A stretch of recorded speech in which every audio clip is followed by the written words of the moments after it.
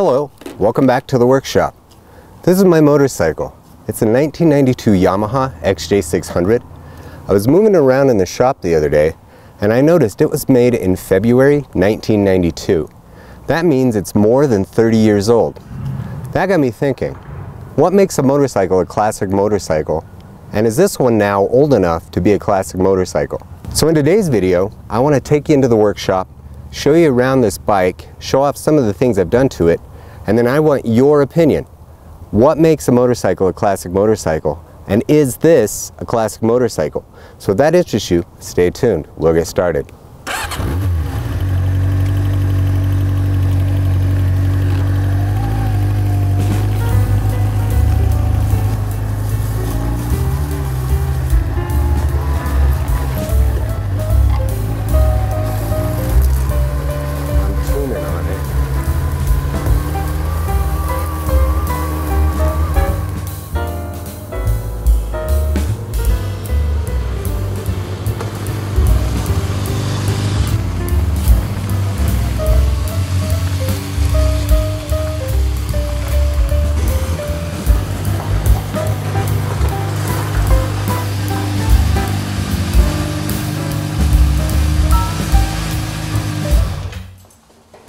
Back in 1992, when Yamaha built this motorcycle, it did not look like this.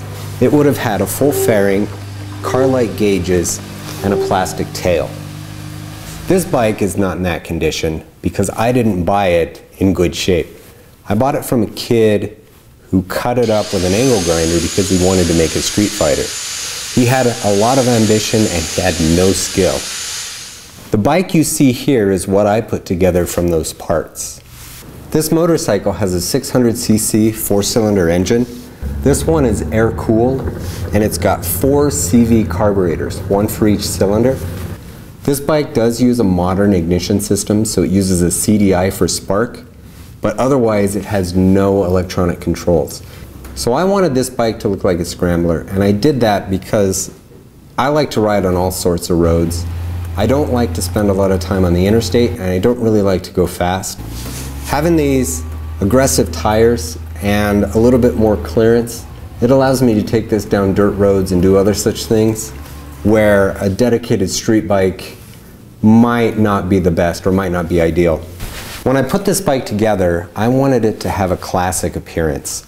I like naked style bikes and overseas you could get the XJ600 without the fairings. It looked somewhat like this so my inspiration was a classic 70s style motorcycle. I wanted traditional equipment. A large round headlight, analog gauges, dual exhaust, and a minimal amount of plastic. So what you see here is kind of my answer to those criteria. So for the headlight, I'm using a 60s Triumph bucket with a modern LED headlight this headlight is made by Truck-Lite. It's a 7-inch LED on both the low beam and high beam. To mount that headlight on the bike, I built a set of slipovers. So these fit over the fork and they sit sandwiched between the upper and lower triples. And then bolted to those are a set of aluminum brackets that I designed and had cut out of 3 8 inch aluminum. Those brackets carry the headlight. They also support the gauges. The gauges I'm using come from a KZ1000, the police edition. I went with that because those gauges are available all the way up to 1995. They have an electronic tach that works with the XJ600's tach signal, and they use the same size front tire. The wheels I'm using are the stock XJ600 wheels. These have been powder coated red. I think they give it a really nice appearance. The tires are IRC Trail Winner dual sport tires. This is actually a rear tire mounted backwards on the front to fit the 17 inch wheel. So both tires on this bike are tubed tires. So they use an inner tube even though they have cast aluminum wheels. Because this bike had its tail cut off, I had to make my own. What I did is I used round tubing and I wanted to replicate the look of the frame elsewhere. So I used one inch round tubing and then I contoured the tail to fit to accommodate the original under tray and the original seat. I cut down the original seat to turn it into a solo seat. I made a set of side covers to hide the wiring, the regulator, and the starter solenoid. These are made out of 8th inch ABS plastic. I cut them to shape, glued them together, and then I attached these to tabs that I welded to the frame. I used the same approach for the front infills or the front panels. These hide the ignition coils and the wiring that comes out of the headlight. So that's all located back here. Just like with the rear, I welded a tab to the frame and that's how they're attached. I wanted to be able to strap any kind of luggage to the back of this and not worry about it. So I made the rear rack out of 3 8 aluminum. Just like the headlight brackets, I had it water cut. And I did that so it would continue the theme of the bike. I used an LED taillight from a trailer for my taillight. I built this bracket to hold it firmly to the rear fender. I wanted it to stick out far enough that it would illuminate a license plate and I'd have no trouble with people seeing behind me, seeing my brake lights, seeing my tail lights. So aside from those changes, the rest of the bike is stock. It's got a stock suspension, stock brakes, and a stock exhaust system. So now that I've showed you around the bike, I want to come back to the original topic of this video.